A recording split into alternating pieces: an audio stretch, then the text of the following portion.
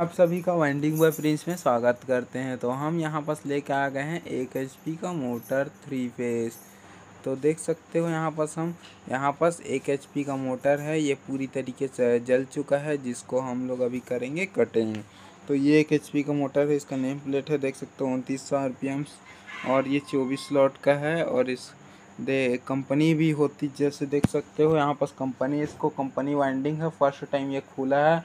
और इसको company winding की है। ये पूरा मोटर है, देख सकते हो, पूरे तरीके से, चारों तरफ़ से। ये एकदम न्यू सोल्ड मोटर है, इसको अभी कहीं खुला नहीं था फ़र्स्ट टाइम ये खुला है। ये है इसका ऊपर का, तीन तार लीड निकला है इसका, देख सकते हो। और ये जो मोटर है, वो फुल चैन नहीं है। इसको कंपनी ने बिना उठाए डाला है, देख सकते हो आप लोग। ये कंपनी भी है वो पूरा चैन वाइंडिंग नहीं करती है क्योंकि इसमें कॉइल टाइट गया होगा।